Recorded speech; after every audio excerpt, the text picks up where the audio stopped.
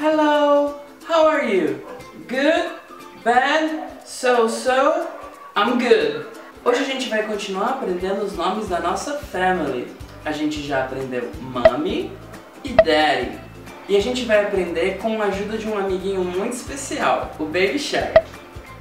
O Baby Shark também tem uma Mommy e um Daddy. O que mais o Baby Shark tem?